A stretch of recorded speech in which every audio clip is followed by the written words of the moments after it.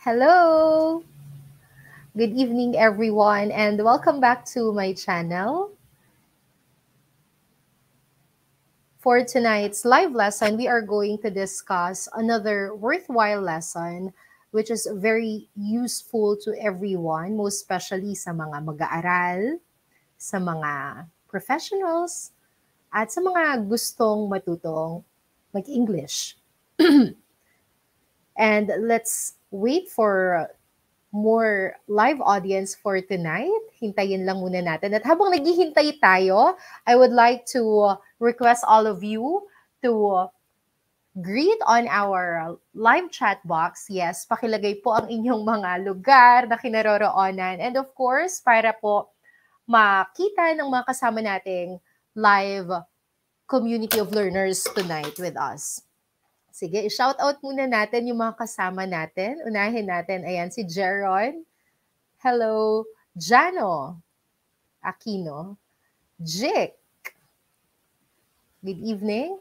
Also, Pakilagay nyo rin kung mula saang lugar kayo nanonood. We also have with us one of our channel members, G. Urbano Special. So kapag may nakita kayo nag-comment na may ganyang mga symbols, ibig sabihin group members sila ng channel. Nag-join sila sa exclusive membership.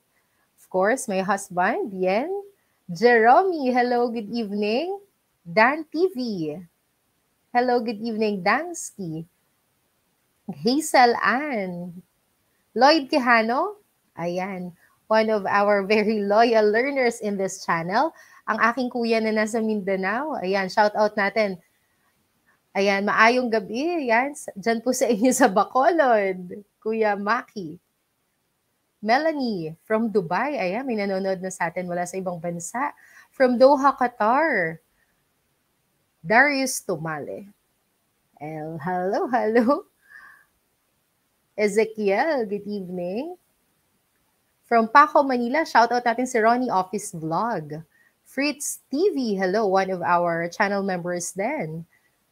Jejara Kaliste. At syempre, may nanonood sa atin from Turkey, si Teacher Janet ng YouTube channel ng Englishera. Kung hindi pa kayo nakapag-subscribe sa channel niya, you should go on her channel, check out her videos, napakarami yung matututuhan. Follow her on her social media accounts, on her YouTube, English Era, on her uh, Facebook, on her TikTok, on her Instagram. Ayan, syempre si Janina kasama rin natin. Another channel member, Danilo Dagaas from Sorsogon, Bicol. Hello po, magandang gabi. And kung ang pinapanood ni, na ninyo ay replay na ng video na ito, hindi nyo naabutan yung live, pwede na kayong mag-proceed after 5 minutes para doon na kayo mismo makinig sa ating lesson. Hello, Hitch! Siyempre may nanonood din sa atin from Iligan. Hello po, magandang gabi, Mac Perry. Shout out din uli natin si Ezekiel. Eto pa, si... Ayan, from India, Matthew Rahaman. Hello, good evening. Wow, we have an audience, a learner from India tonight.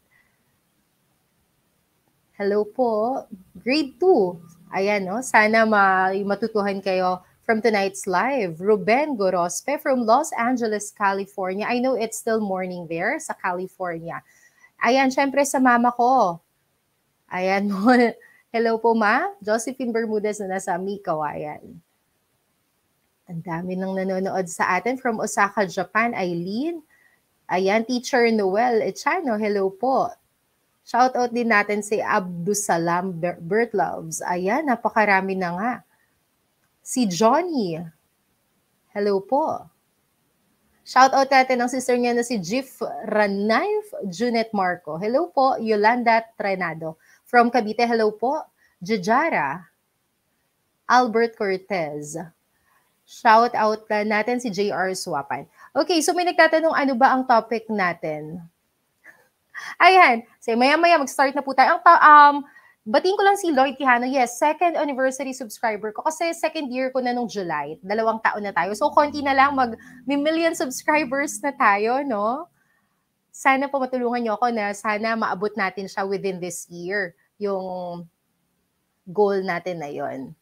Ayan, shout out uli natin ang ating ESL teacher na si Teacher Noel. Siyempre may nanonood din sa atin from Baguio si Zosima. At sa lahat po, muli good evening to all of you. If you are watching the replay of this video, pwede na kayong mag-proceed sa 6 minutes para dumiretso na agad sa topic. So let's jump right into the topic. Our topic for tonight, my dear learners, is about the 10 grammatical errors and how we can fix them. So as you could see, I uh, put there part 1 only because it's a very uh, crucial topic it's crucial kasi marami siyang parte. Kaya minabuti ko na gawin siyang part-part. So sa part na to, meron lang akong tatalakayin na at least 3 to 4 na common grammatical errors at kung paano sila if-fix or aayusin. So before I begin, I would like to greet all of you, my dear learners, a good, good evening and welcome back again to my channel. I am Teacher Aubrey, Teacher Aubrey Bermudez, your English teacher. And my mission in this channel is to help everyone who is interested to improve their English speaking, writing, and communication skills. Kaya naman kung nanonood kayo ngayon at hindi pa kayo member ng ating uh, YouTube online community of learners, I'm inviting you to simply click the subscribe button below. Yes, i-click nyo lang po yung subscribe button sa ibaba. And based on my analytics, um, medyo marami-rami sa ating mga subscribers ang hindi pa naka-turn on ng notification pakiclick nyo rin po yung notification bell and then click all para every time na may live, na mayroon pong uh, bagong lesson sa ating channel, ay makikita nyo agad. Unang-una kayong manonotify. And also, um, if you will find this live lesson tonight useful, please don't forget to click the like button. So yun lang naman yung mga simple favor ko. So what are we waiting for? Let's begin. Our topic for tonight is about the 10 grammatical errors and how to fix them. Why is it important, Teacher Aubrey, to study that topic? Why is it important to take a look at that topic? Well, when we are writing, we are very overwhelmed. Yes, I'm going to use the term overwhelmed. Na-overwhelmed tayo sa dami ng grammar rules na sa halip na tuloy-tuloy yung pagsulat natin, yung flow ng idea, na humihinto tayo kasi, ay, tama ba to? Is the subject agreeing with the verb or is my pronoun agreeing with the antecedent as well as the punctuation marks? Tama ba itong ginagawa ko? Well, yun yung usual dilemma ng mga estudyante na hindi nila matuloy-tuloy ma-express yung sarili nila kasi nga na-overwhelm sila sa dami ng dapat nilang alalahanin na rules. Pero, hindi naman imposible na maging spontaneous yung pagpapahayag natin ng is- kaisipan natin when it comes to writing or even when we are speaking. Basta alam natin yung basic rules that we should apply when we are writing. Yung mga rules na tatalakayin ko ngayon, my dear learners, they are more useful when it comes to writing. Kasi may iba rito na, just like the punctuation, na matatalakay natin mamaya. Let's have the first part, for the 10 grammatical errors and how we can fix them. The first error, common error in grammar is the agreement errors. So from the word itself, agreement, yung pagkakasundo. Di ba? When we say agreement, there should be two parties that agree with each other. So most commonly, we are familiar here when it comes to the subject and verb. But aside from that, meron pang other parts of speech na kailangan ay nag-agree sa isa't isa. When we say agreement errors, we will talk about the subject and verb in a sentence. They should agree in number. If the subject is singular, alam naman natin kailangan yung verb natin ay singular din. If the subject is plural, yung verb natin ay plural din. And aside from that, we have to uh, consider also the person of the subject. If it's in first person, second person, or third person. Okay? First person, the one speaking. Second person, the one you are talking to. Third person, the one being talked about o yung pinag-uusapan. Aside from that, when we talk about agreement errors, we will also cover the pronouns. Pronouns in Filipino, sila yung panghalip, humahalili sa pangalan, sa pangungusap.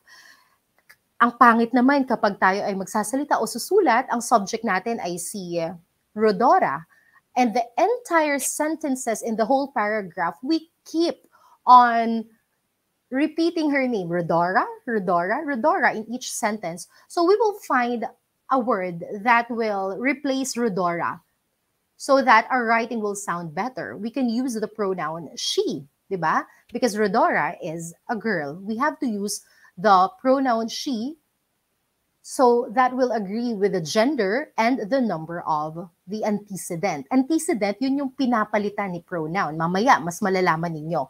So let's have the first part. Um, subjects and verbs must agree. I have a lot of videos already about the subject and verb agreement. You can check them here on my YouTube channel. Uh, that's the very basic English rule, grammar rule, na kapag ang subject mo ay isa lang, yung verb mo ay isa lang din. Kapag naman yung subject mo ay marami or plural, your verb must be plural. So there are different forms that we have to follow para maging para mag-agree yung subject natin at verb. Tingnan ninyo, sa gagawin nating lesson tonight, I want it to become more interactive, my dear learners. So what are we going to do? I will present you sentences with errors. Yes, parang finding the error. Ang gagawin nating pag-aaral tonight to make it more interactive, you can use the live chat box, the comment section there to put your answers to put your thoughts and ideas and then I'll be uh, very glad to read them and to flash them on the screen para makita ng ating live audience tonight.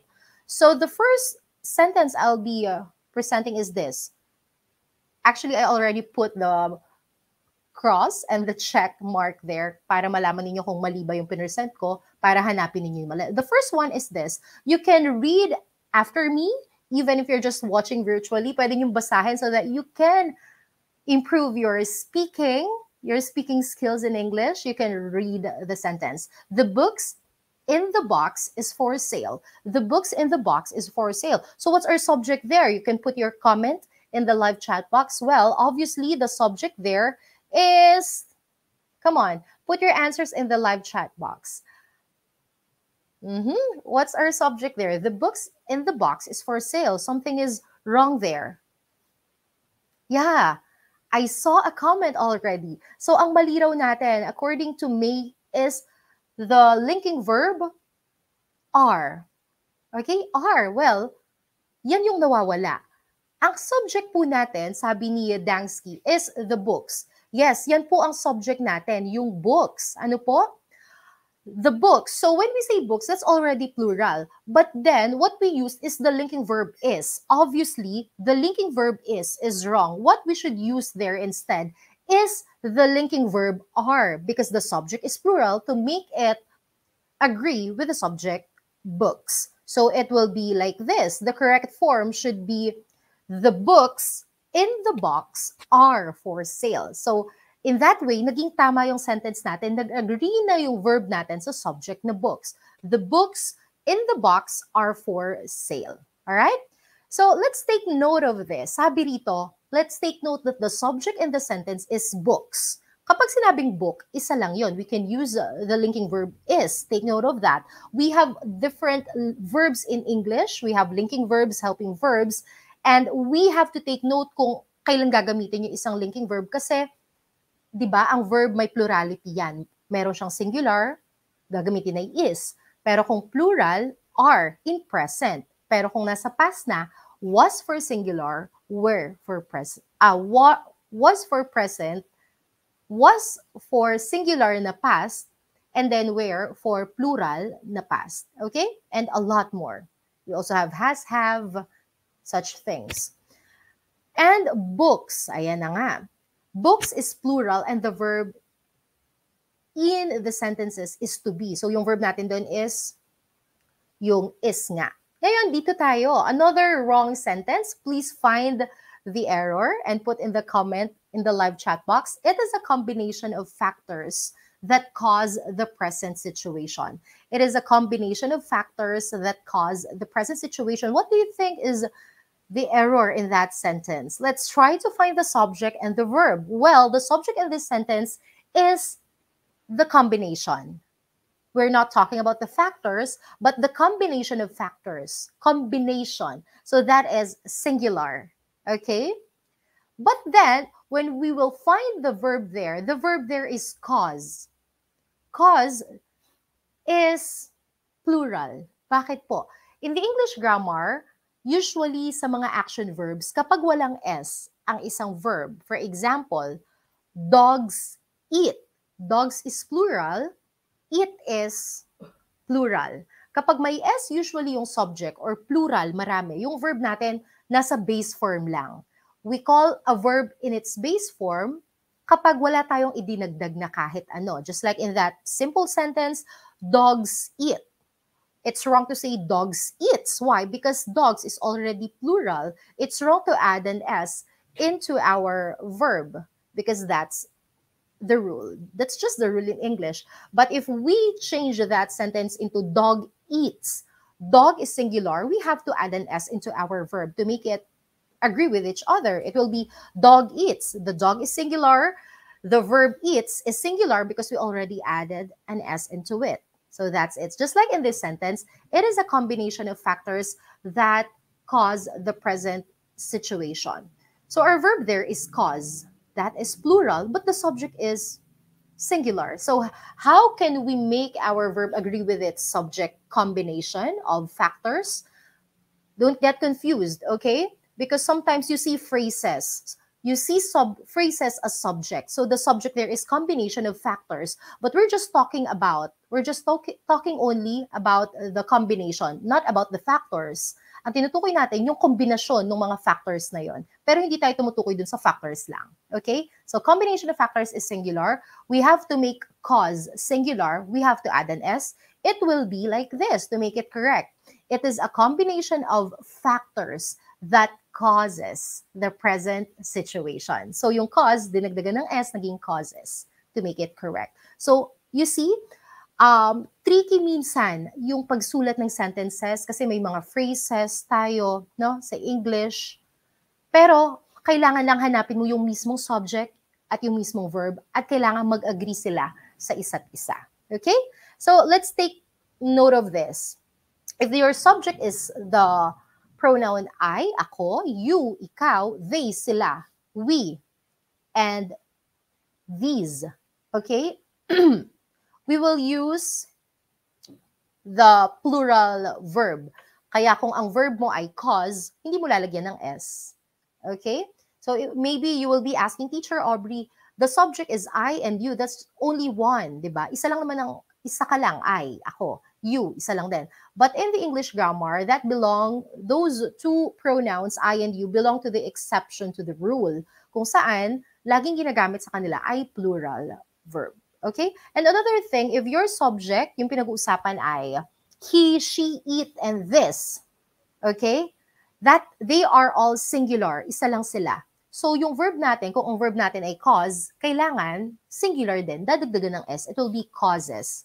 He causes, she causes, it causes, this causes. Okay?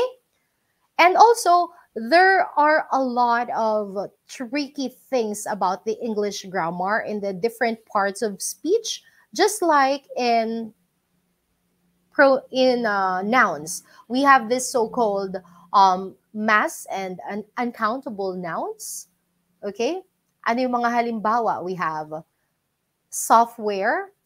It has a connection with technology, software, they uh, also data, information, equipment, machinery, knowledge, space, oxygen, steel, water, environment, and technology.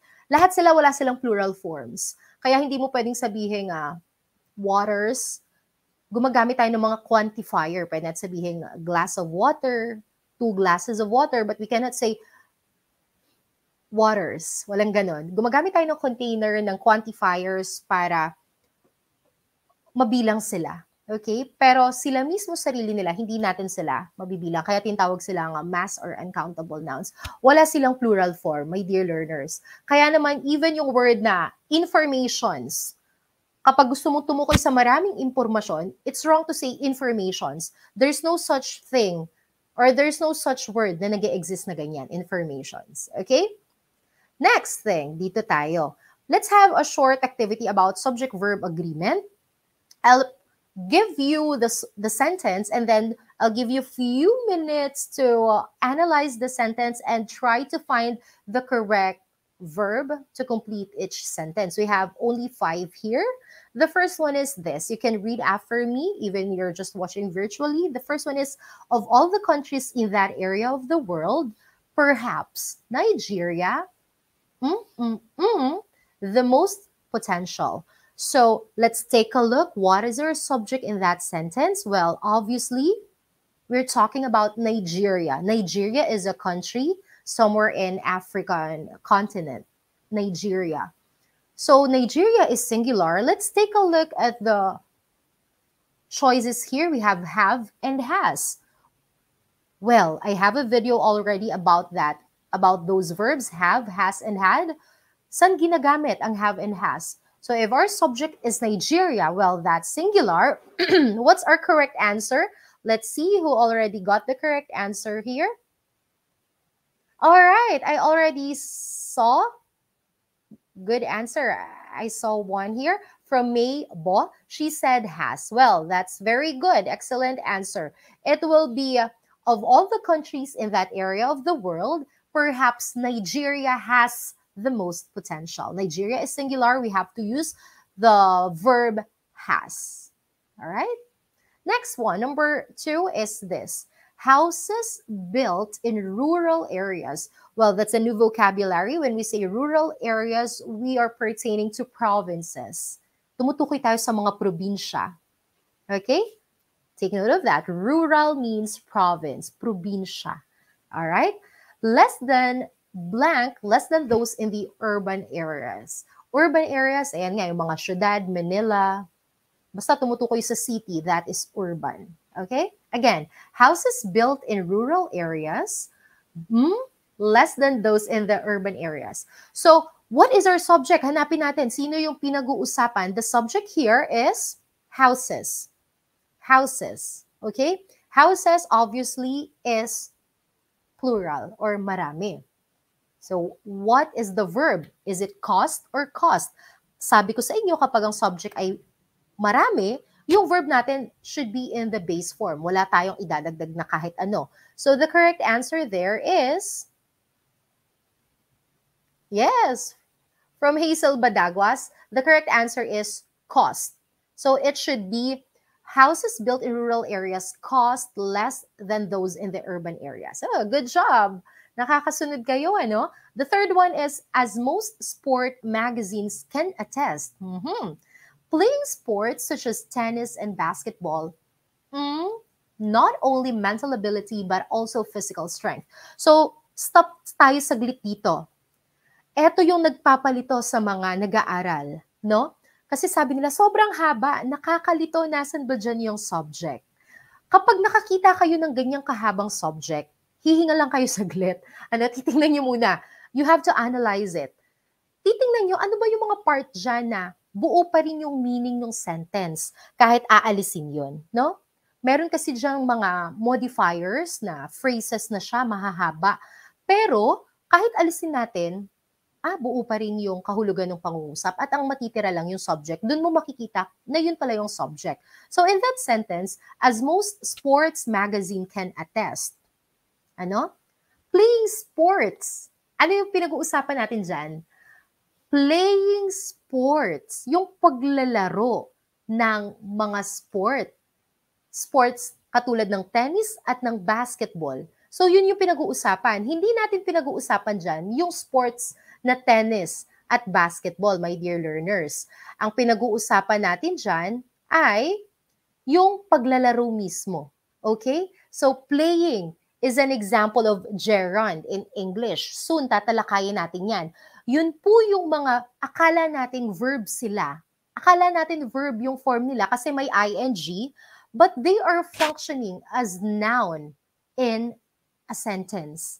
'Di ba? Kapag sinabi nating playing sport, paglalaro ng sports, tumutukoy tayo dun sa paglalaro, sa act of playing. But we're not talking about the action here.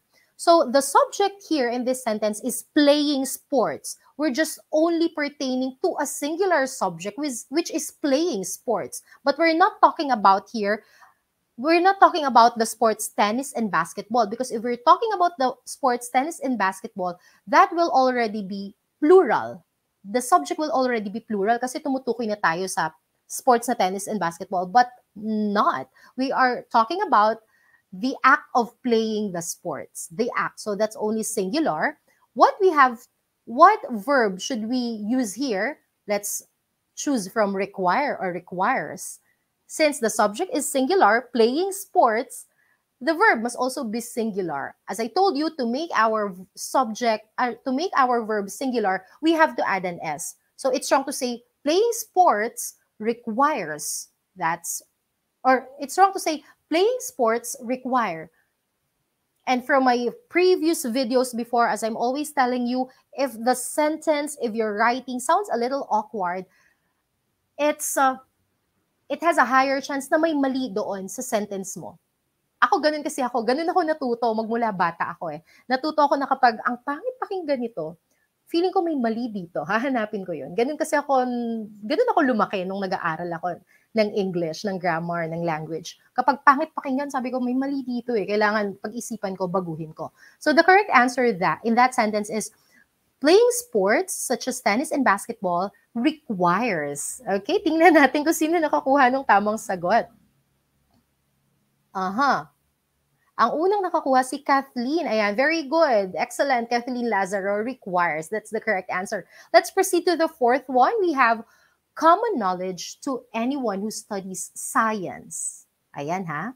Common knowledge to anyone who studies science. Yung karaniwang kaalaman daw sa mga nag-aaral ng siyensya, ayun ha, ano yung tinutukoy? The Earth, blank on its own axis once every 24 hours. What's our subject in that sentence? Well, obviously, ang pinag-uusapan natin dyan na nagre-revolve daw sa sarili niyang axis every 24 hours. Ano po? Yung planeta natin. We are talking about Earth. And Earth is singular. Isa lang ang Earth? Well, knowing that the subject is singular, what verb should we use? Is it revolve, which is plural, or revolves with an S, which is singular? Well, we have to use revolves. Let's take a look at your answers. The first one who got the correct answer is Faith Manalo. Hello, Faith. Very good answer. So it will be a common knowledge to anyone who studies science. The Earth revolves on its own axis once every 24 hours. Hmm, that's it. Next is this. The last sentence you have to answer in this part for the subject and verb agreement. Of all the grammar points I have studied in my seven years of English, the most recent unit, the most recent unit, ano yung pinag-uusapan talaga dyan? Yung lahat ba ng grammar points? Sabi kasi sa unahan eh, of all the grammar points I have studied in my seven years of English, ang pinag-uusapan ba lahat ng grammar points na napag-aralan niya sa loob ng pitong taon na pag-aaral niya ng English? Hindi po. That's just additional modifier. Tumutukoy ka lang dun sa kabuuan. Pero may tinutukoy ka talagang pinag-uusapan sa pangungusap. Ano po yon? The most recent unit. And that is singular. That's only one. So to make that singular subject the most recent unit agree with your verb, your verb should be in singular form too. And to make a verb into its singular form, we have to add an S. The verbs there that we have to choose from, we have confuse and confuses. Well, that's another vocabulary. Kapag nalilito ka, you are confused. When we say confused, you are uh, thinking twice about things, nalilito ka, pinag-iisipan mo, naguguluhan ka. Okay? So, the answer in this sentence will be the most recent unit. It, is it confused or confuses? The answer is, the first one who got the correct answer is, aha, Lloyd Quijano. So the answer is confuses. You see, no, kailangan lang ina-analyze natin yung sentence para alam natin kung paano pag kakasunduin yung subject sa verb. It will be of all the grammar points I have studied in my seven years of English, the most recent unit confuses me the most for a variety of reasons. Uunawain mo lang, ano ba talaga yung pinag-uusapan dito? At kapag mahaba yung pangusap, may mga part, may mga clauses tayo. May mga sugnay na pwede namang alisin at kaya pa rin makapag-isa nung natira lang. Kasi sila lang talaga yung bumuo ng thought sa isang pangungusap. So, so much for that. Congratulations, my dear learners. Let's give ourselves, let's give yourself, yourselves uh, virtual claps for uh, answering correctly our uh, set of activities about the subject and verb. Now, let's proceed to the second agreement, common agreement errors, let's talk about the pronouns. Yes, pronouns. My dear learners, I already have a video about pronouns in which I discuss the different kinds of pronouns as well as their examples and in, in which I use them in a variety of sentences para mas maunawaan ninyo. When we say pronouns, it's a part of speech in which it's essential. Why? Because without pronouns, writing or speaking will be very boring. Yeah. Napaka-boring ng pagsusulat, ng pagsasalita, kung wala tayong pronouns or in Filipino, we call them as panghalip. Okay? Panghalip. Kaya panghalip kasi humahalili sila sa mismong pinag-uusapan sa pangungusap kapag paulit-ulit ng ginagamit, pwede nating palitan. Just like in the example I gave a while ago, I said Rodora. If in the first sentence of your paragraph you use the subject Rodora, and in each sentence you will we will be talking about Rodora, and we keep on saying Rodora, well, that's quite boring. What we have to do is to find a pronoun that will suit best to our uh, antecedent. When we say antecedent, di ba, we have this topic in the grammar na pro, pronoun antecedent agreement. Yung pronoun, yun yung pumapalit. So, ang papalit kay Rodora ay she. Kasi si Rodora ay isang babae. She is our pronoun. By the way, it's not pronounced as pronoun. All this time kasi akala ko rin pronoun. But then, uh, I'll check the dictionary. I listen to other uh, native speakers teaching uh, English, it's not pronoun. Akala ko rin all this time pronoun eh, pero it's pronoun. The O there is long. Pronoun. Okay? You should stop saying and pronouncing that word as pronoun. It's pronoun. All right?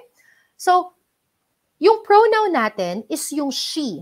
She in Filipino is siya. Well, that's the difference in balarilang Filipino or Filipino grammar in English grammar. In Filipino kasi, yung siya pwede nang tumukoy sa lalaki at sa babae. But in English grammar, we have the division of gender. We have gender for male and female.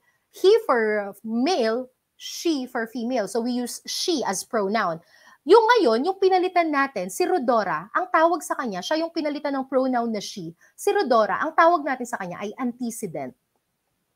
I think napag-aralan nyo na yan, ano? we have antecedent. Rodora is the antecedent. Okay? So ngayon, kailangan daw, yung ating pronoun, yung ipinalit natin sa ating antecedent, mag-agree doon sa mismong pinalitan. Hindi ka, we cannot use he as pronoun for Rodora because Rodora is a female. We cannot use a pronoun that refers to a male gender. Kailangan mag-agree yan.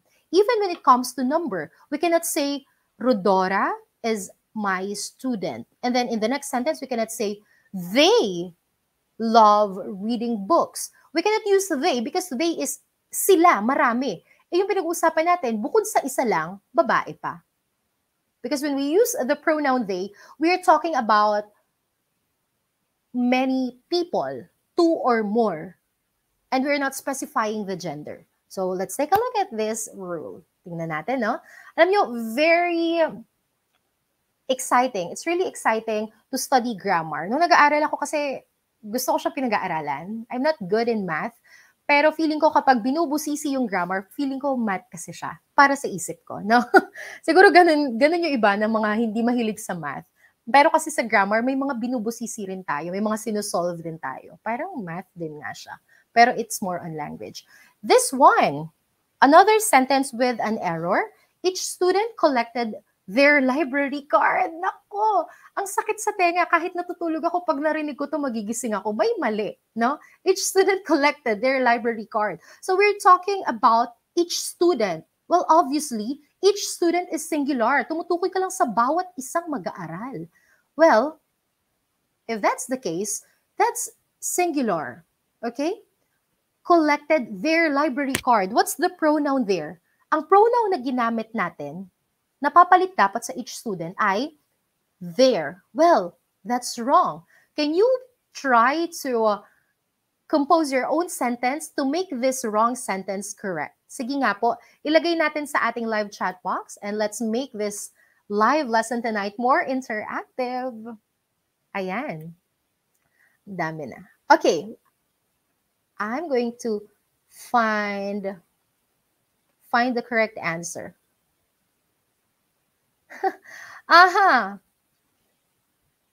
Sige nga, ilagay sa ating live chat box the correct sentence or the correct pronoun to be used instead of there. There here is obviously wrong. All right, I already see an answer. Mm-hmm. Malapit-lapit na. Malapit-lapit na. Come on, try. Try to compose another sentence. Each student. So when we say each student, we're not sure if it is a girl or a boy student, if it's a male or a female student. So we can use either a pronoun that refers to a male or to a female gender.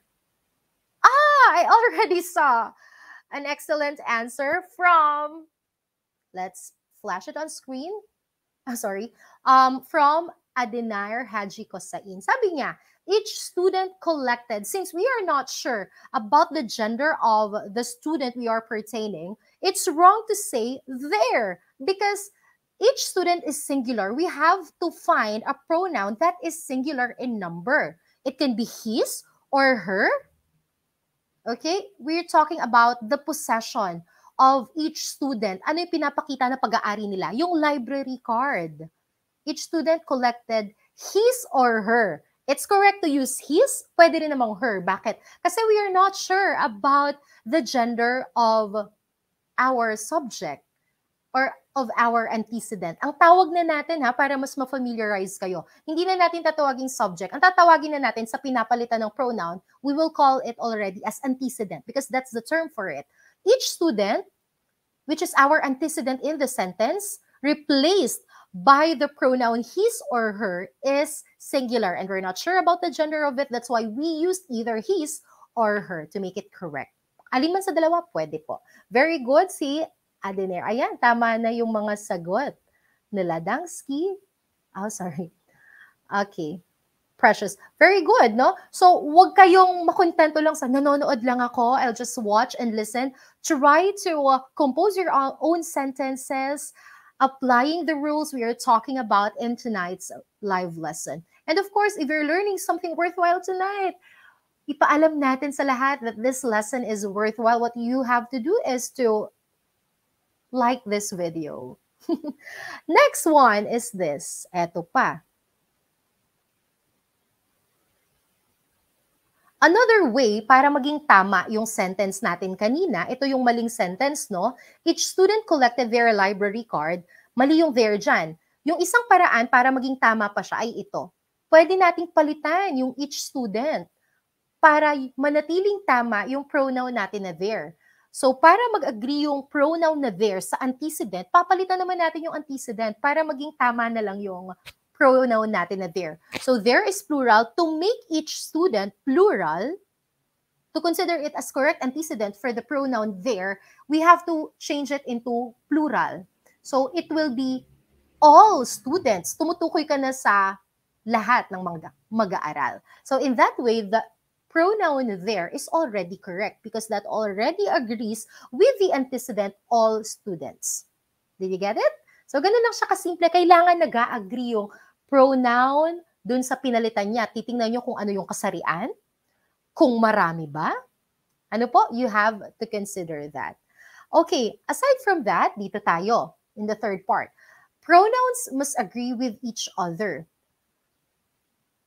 kapag po sumusulat tayo sa pangungusap, kailangan minsan din yung pronouns natin na ginamit. Sa unahan, gumamit ka na ng there kasi tumutukoy ka doon sa subject, sa naging antecedent yung pinalitan na all students, marami. Sa, sa sunod ng pangungusap, sa paragraph mo, binago mo yung pronoun mo. Gumamit ka na ng his eh yung subject mo pa rin, yung antecedent pa rin, yung papalitan pa rin ay all students. Bakit ka gumamit ng his? So hindi na nag-agree yung pronoun mo in your first sentence dun sa mga preceding sentences pa. Ano po? Kailangan mag-agree yung mga pronouns na ginamit mo or gagamitin mo sa pangungusap. Let's take a look at this sentence. It has an error. Once one has read the article, you have to answer the question. So we will consider the person in the sentence. We have first person. If you are the one speaking, that is I or me. Okay? We have you. You is second person, or when we say second person in the English grammar, we pertain to the one we're talking to. Yung kausap natin, you, ikaw, kayo, ikaw. And we have this third person if we are talking about the one being talked about o kapag tumutukoy tayo sa pinag-uusapan lang. I, ako yung nagsasalita, first person. You, kausap kita. Kausap ko kayo, second person. Third person, may pinag-uusapan tayo. Tingnan natin itong pangungusap natin. Once one has read the article, you have to answer the questions. Well, ang sagwa pakinggan, sakit sa tenga. Sakit sa tenga, no? Masakit siya sa tenga ko kasi mali siya. So let's try to make that correct. Anong mali dyan? Subukan nga nating alamin. Ang atin pong pronoun dyan ay yung word na one. Once one. Tapos, in the next clause, the one that, ca- that comes after the comma, di ba? Once one has read the article, may tinutukoy ka. Matapos na ang isa ay basahin yung article, yung kasulatan, yung sulat, or yung babasahin, you have to answer the question. Bakit biglang naging you? Bakit biglang kinausap mo? Ba't bigla kang nakipag-usap? When in fact, in the first place, ang pinag-uusapan, yung isa na yon, yung isang tao na yon. Tumutukoy ka sa isang tao. When once once one has read the article, ano po? You're talking about that one person. Tapos pagdating sa second clause mo that will complete your sentence, naging you na. So anong dapat gawin natin para maging tama yung sentence? Let's try to uh, make our own sentence to make it correct. Sabi ni Lawrence, no. Mm-hmm. Sabi ni Hazel, once one has read the article, Hmm? No? nice try, but it's not. Okay, may nakita akong tamang sagot. Sabi ni Faith Manalo, we have to change the pronoun you in the second clause into one to make it correct. So it will be, I'll reveal the answer, my dear learners. It will be once one has read the article, one has to answer the question. To make it correct, kailangan pareho po yung gagamitin mo lang na pronoun. Kasi tumutukoy ka lang din naman sa parehong antecedent or sa parehong pinag-uusapan. Kaya hindi pwedeng from third person, may pinag-uusapan tapos biglang nakipag-usap ka. 'Di ba? Even when we are writing. When we are writing, ito yung isa sa mga dapat i-consider ng mga learners, especially ng mga high school or college students. I had this subject called creative writing nung college kami, BSE English ang saya ng subject na yon kasi syempre, creative writing, we just kept on writing that time. Lahat ng topics, all topics under the sun, natut kaya na mas nahasa kaming sumulat.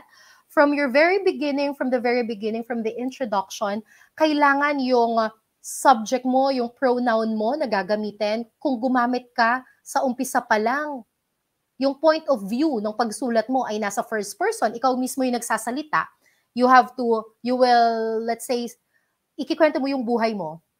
I was born in, I was like this, and then suddenly mag-shift ka into third person, Aubrey Bermudez, that's wrong. If you started as you are the speaker in your write-up, then hanggang sa huli, ganun po. Maliban na lang kung gagamit ka ng mga sentences na quoted line or yung um, reported speech or tama, quoted lines, yung binanggit mismo nung nagsalita, doon ka lang makakapag-inject nung ginamitan ng second person or third person, pero yung kabuang point of view, point of view po ang tawag doon no, sa pagsulat. Kung nasa first person ka, manatili ka sa first person. That's it. Okay, so I hope you find all those things useful. Ayan, tama. Eto pa ha. Tama rin to, sabi ni Oki. sabi niya, you are the one, you are the one has read the article. Wait, Medyo magulo ha. Ayusin natin. You have to read the article. Pwedeng ganon. You have to read. You have to read the article. It's wrong to say has when your subject is have. Okay? It's wrong to say has if your subject is have. If your subject is you, kailangan po have. Okay? So it will be you have to read the article, then you have to answer it. Something like that. Hindi ka na pwedeng gumamit ng one kung you ang ginamit mo. So, still, I appreciate your effort. Okay lang yan magkamali, no? okay lang yan. Kasi, paano ka matututo kung hindi nyo susubukan? So that's the first part of our common grammar errors, my dear learners. Ngayon, mag-proceed na tayo sa second one. We have this comma splices. Ayan, comma. It's not comma, ha? It's comma. By the way, I'd like to invite all of you, my dear learners. Weekly, I'm going to have live. I'm thinking if it will be fixed every Thursday. So, sisikapin ko every Thursday makapag-live ako. I promise you that. So, every 8.30 ng Thursday, babalik kayo sa channel natin, dito sa channel ko, para magkaroon tayo ng interactive learning. So, it's comma. Yung comma, yung po yung kuwit na ginagamit natin sa sentence. Ano po? And meron akong video about, what's that video? Punctuation marks. I discussed, that's almost complete. All the, all the punctuation marks that we can use when we are writing, tinalakay ko doon. We have the, the so-called full stop punctuation marks. We have the, the opposite of it. Ano po? Ngayon, meron tayong tinatawag na comma splices sa English. What do we mean by splices, my dear learners? When we say splices, ito po kasi yung when we say splice, it's a verb. Ano po? yung sinasabi nating comma splices, sila yung parang may mali sa pagkaka-combine ng mga clause dahil nga may kulang na comma, hindi nalagay yung tamang punctuation or yung tamang adverb, conjunction, at other parts of speech para mas maging tama sila. Ano po? When we say splice, it means joint or pinagdugtong. Okay? Ngayon, tingnan natin tong pangungusap natin. Or let's take a look at this. Joining two independent clauses with only a comma creates a comma splice. Ayan.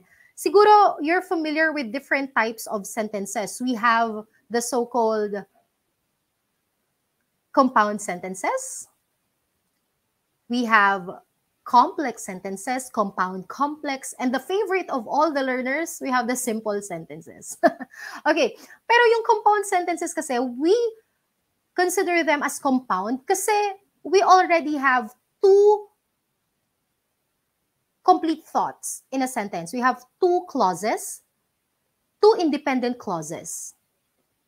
At kapag kinumbine sila, pwede tayong gumamit ng punctuation marks, ng tamang punctuation marks, o kaya naman ng mga conjunctions to combine them. Okay?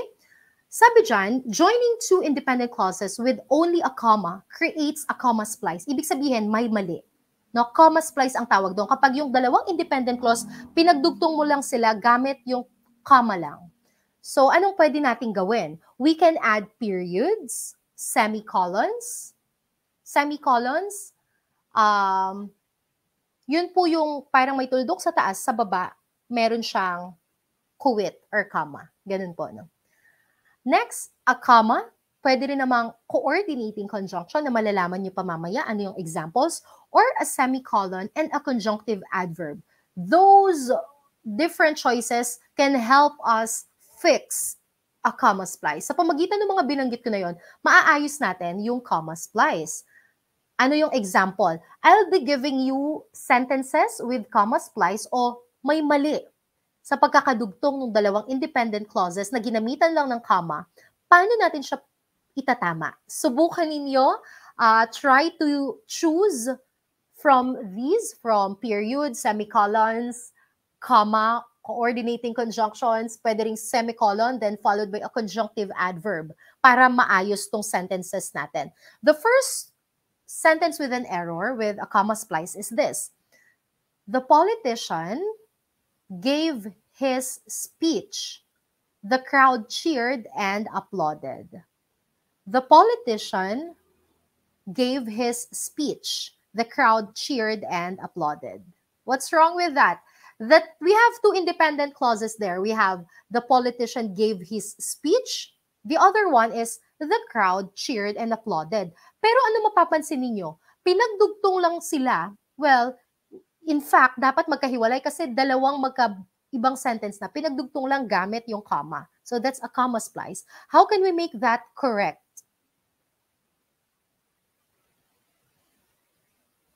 Mm-hmm. Wow, I found a good answer from Rodale Pineda. Sabi niya, we can use period.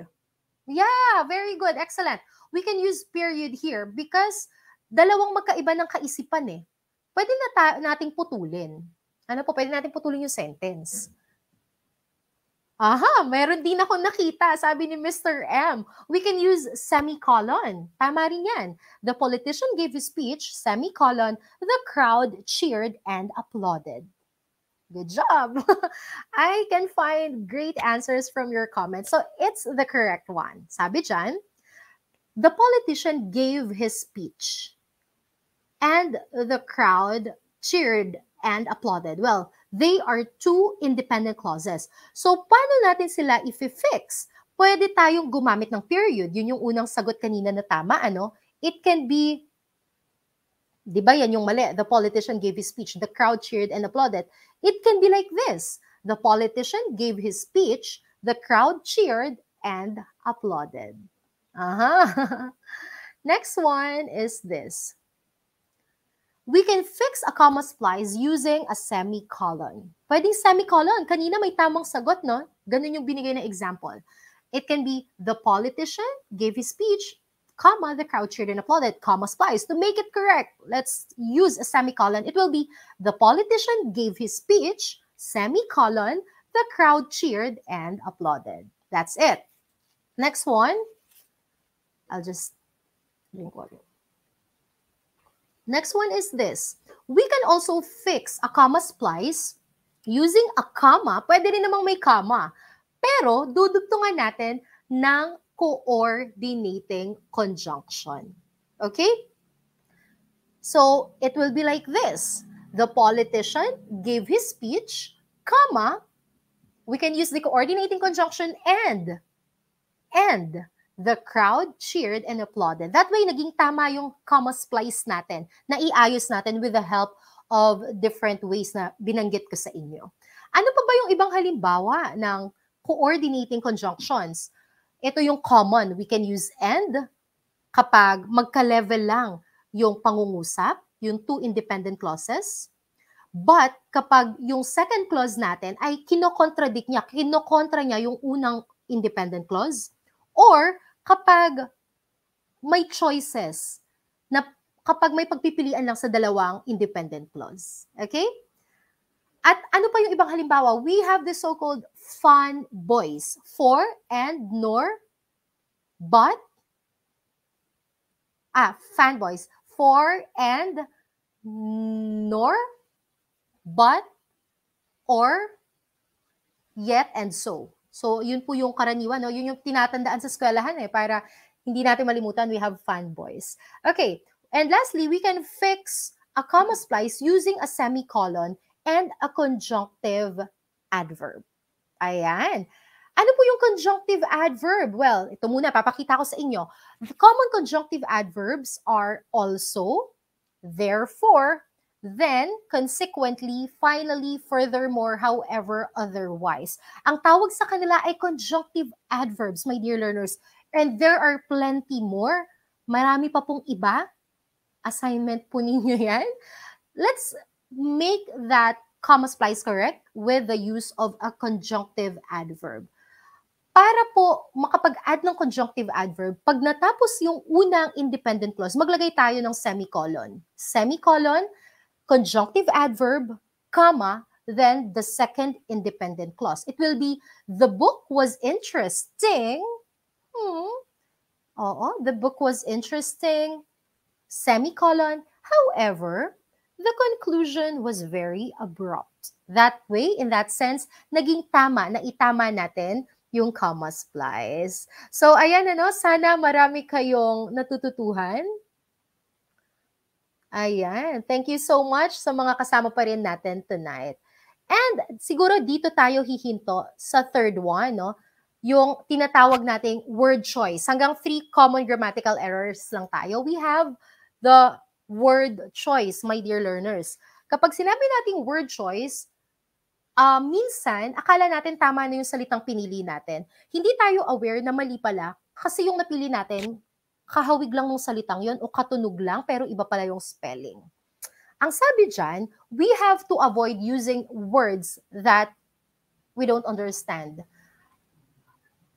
Pwede naman kapag hindi natin alam, mag-check agad tayo sa dictionary para malaman natin. Using a word with the wrong meaning often due to similar spelling or pronunciation, which can occur when using spell check.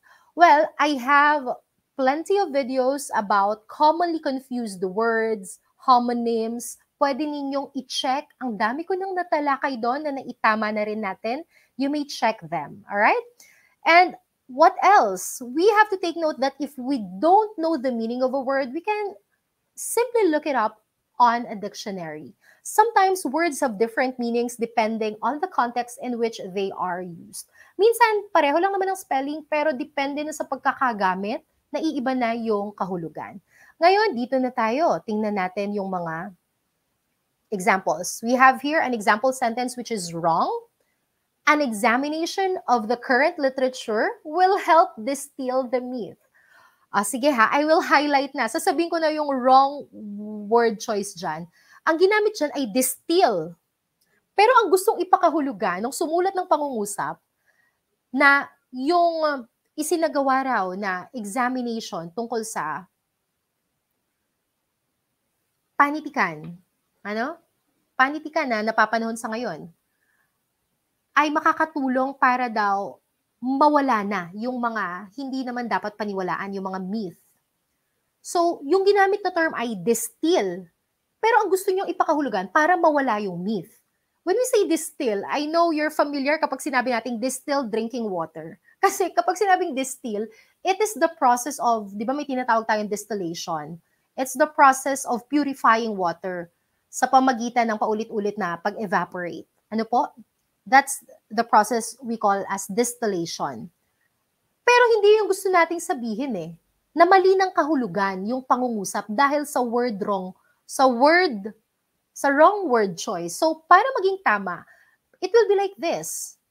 An examination of the current literature will help dispel the myth. Ang gusto palang sabihin, dispel, hindi distill. Medyo magkatunog lang sila pero, the fact na nakapag-commit siya ng word, wrong word choice, na iba yung pakahulugan sa pangungusap. So let's be cautious when we are choosing a word to describe a particular thing in our sentence. Okay? So we have to use the word dispel. I have here another one. Subukan ninyong hanapin ano yung mali. Ilagay ninyo sa ating live chat box. The recession had a negative effect on sales. Ah, effect. Tama ba yung affect? ano po ang dapat? Affect? I have a video about that. Affect? Yes, very good. From Hazel, it should be effect. Okay? When we say affect, that's wrong. We need to use the word instead of the recession had a negative effect on sales, it should be the recession had a negative effect on sales. Tumutukoy ka na dun sa final product, sa kinahinatnan, sa naging bunga effect. All right? Another one is this. What's wrong in this sentence? The purpose of their visit was political. The purpose of their visit was political. What's wrong in that sentence? Aha. Sige nga, ilagay ninyo. Ano yung dapat? the purpose of their visit. Well, sabihin ko na ha, ang mali dyan ay yung word na there. Yeah, very good. From Angelica Santos, it should be there. Yeah, I can see excellent answers from wonderful mommy Dabs. It must be there. Very good. Thank you. Nauunawaan ninyo, nakakasunod kayo. It will be the purpose of their visit was political. That's the correct answer. Another cur- another wrong one is this. The types of information are quite different. Quiet? Aha, meron akong video about quit, quiet, quiet. Panoorin ninyo para mas malinawan kayo anong pinagkaiba nila. Ito yung isang natutuwa ako kapag pinapakita ko sa estudyante ko, anong basa dito? Yung word na quiet, binabasa pa rin nilang quiet. Well, they are totally different from each other. Quiet and quiet. The wrong word here is quiet. It should be an adverb. It should be an adverb. What's the correct adverb to replace quiet, which sounds like quiet pa rin naman? Yeah, very good.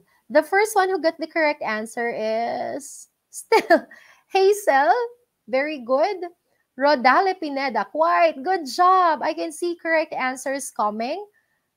Thank you. Wonderfully quiet. Ayan. It's not it's not quit, ha? That's a different word. So my assignment for you, Renel, is to watch my video about quit, quiet, and quiet para mas makita mo ano ba yung pinagkaiba nila. yeah, very good. The correct one is quiet. It's wrong to say that the types of information are quiet different. So you're telling na tahimik, silent yung different? No. It should be an adverb pertaining to how how much, gaano ka iba. Quite different, medyo iba, quite. All right? That's it. It will be the correct form. The types of information are quite different. All right? So I think we will stop in that lesson. Kasi po meron pa sanang iba pero mahaba-haba na. Yung next topic natin will be discussing about modifiers, dangling modifiers, misplaced modifiers, I'll give you a overview about the next ones. We have dangling modifiers, misplaced modifiers, possessive cases, saan ba naglalagay ng apostrophe S or ng S lang or ng apostrophe. Uh, we'll also talk about pronouns, re- pronoun reference, about punctuation. Very exciting yung mga susunod na parts ng ating common grammatical errors and how we can fix them. So next week, aabangan ko kayo for another live lesson. But wait, there's more. We will still have a short quiz. Titingnan ko kung uh, naunawaan ninyo yung mga naging pag-aaral natin. What you have to do is to choose the correct word to complete each sentence. Okay? What are we waiting for? Let's begin. The first one is this. The price of these jeans is or are reasonable? What do you think is the correct answer? Put your answer in the chat box. Aha, the price of these jeans. What's our subject there? The subject, is it the jeans or the price of the jeans? Come on, put your answer in the comment section. Let's find first our subject. What's our subject? Nako, nalilito agad kayo ha. Anong pinag-uusapan natin? Yung jeans o yung presyo lang ng jeans? The price of the jeans is or are reasonable? Alright. So, mm-hmm, may nagsabi, are because of jeans? Who? Ayan, nalito na agad kayo. Ang pinag-uusapan lang natin dyan, from Mr. M, from Rodale, and from Hazel, ang pinag-uusapan lang natin dyan ay yung price. ba? So, our subject, since the subject is price, what we have to use is also a verb that will agree with the singular subject price. Ang pinag-usapan lang, ang presyo ng pantalon, hindi yung pantalon, hindi yung jeans. Ang pinag-uusapan natin yung presyo. No? 'Di ba? Yung reasonable daw, tama lang yung presyo. So the correct answer is, is. The price of these jeans is reasonable. The price is reasonable. We're not talking about the jeans. We're just talking about the price of the jeans. Yung presyo lang ng jeans. Okay? The second one is this. the only one of these most intelligent students who is or are under 18 is or are Peter. Aha, uh-huh. what's the answer there? We have two ha, dalawa yung sasagutin.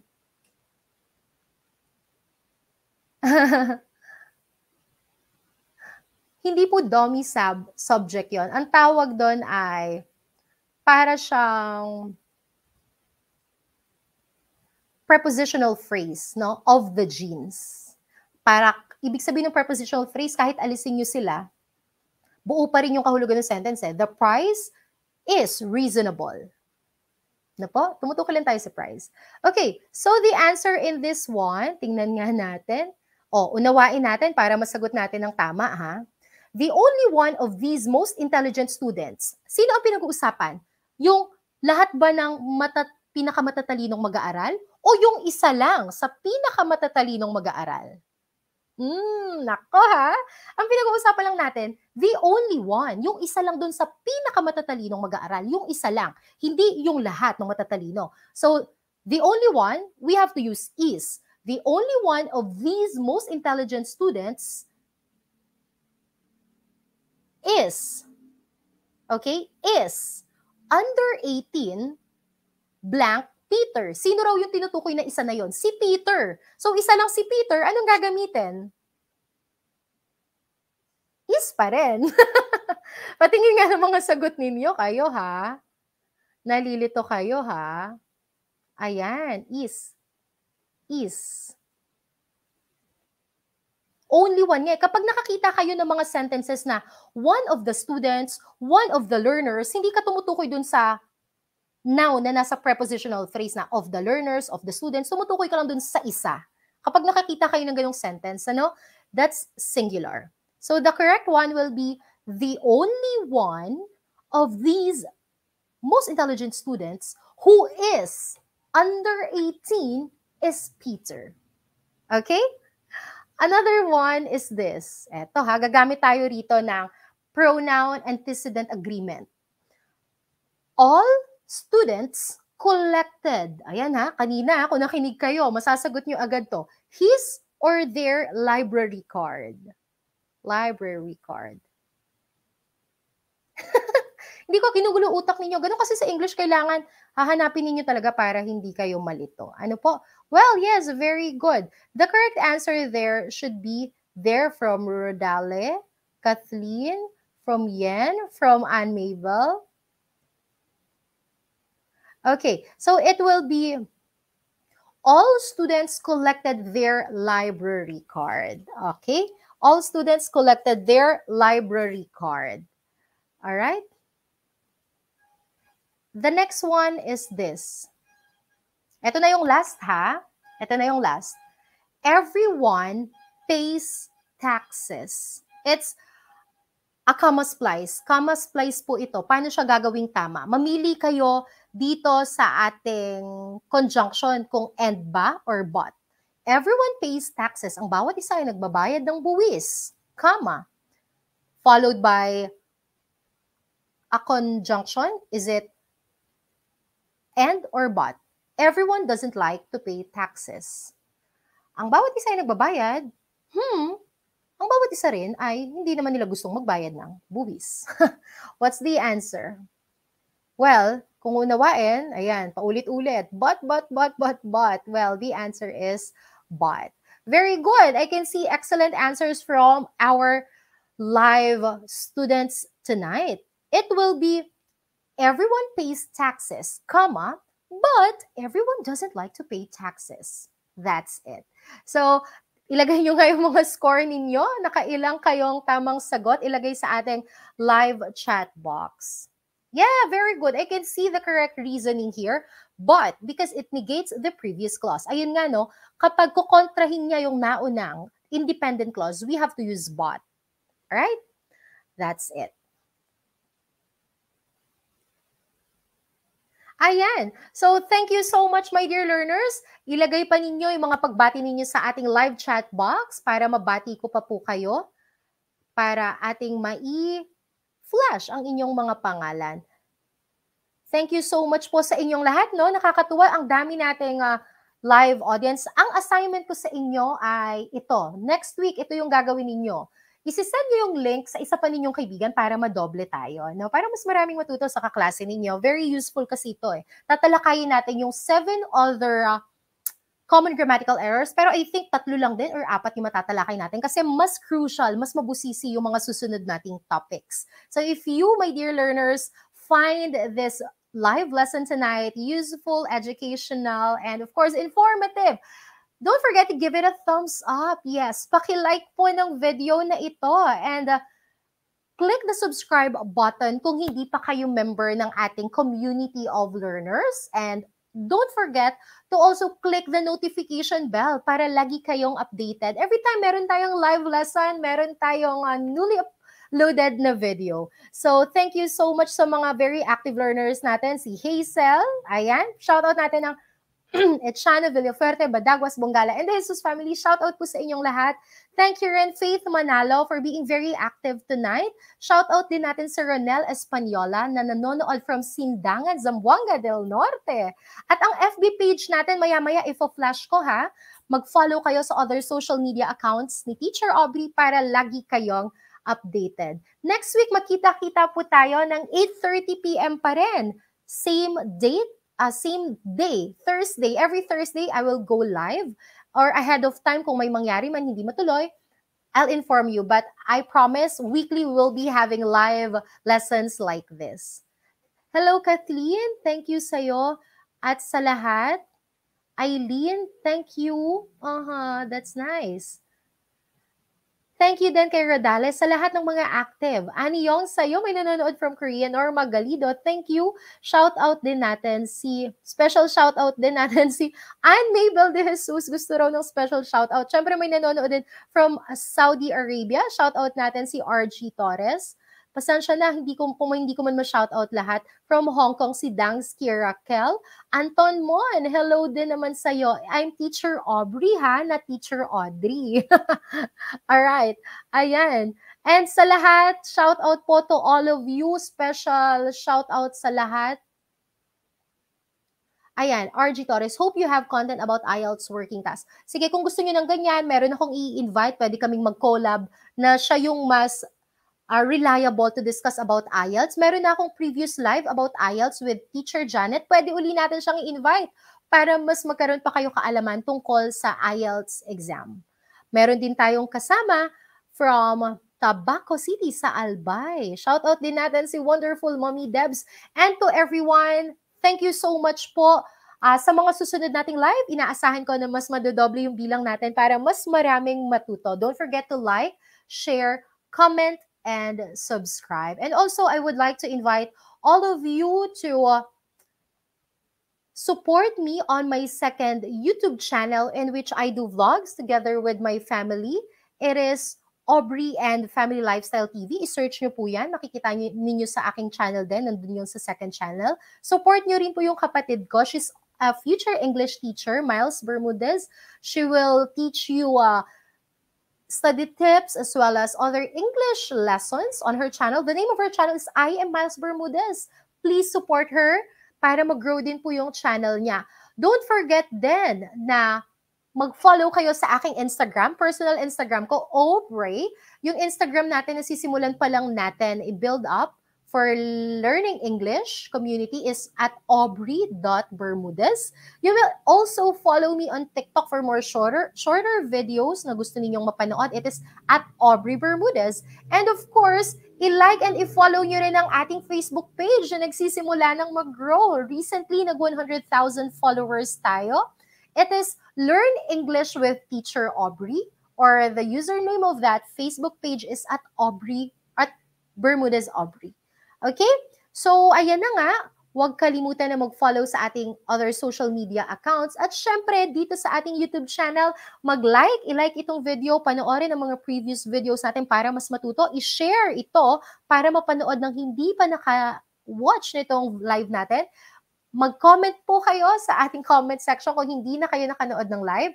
At syempre, mag-subscribe para maging bahagi ng ating YouTube online community of learners and click the notification bell para lagi po kayong updated every time I will upload new video. And syempre po, para rin mapakita ninyo yung support ninyo sa ating channel, you may send super thanks.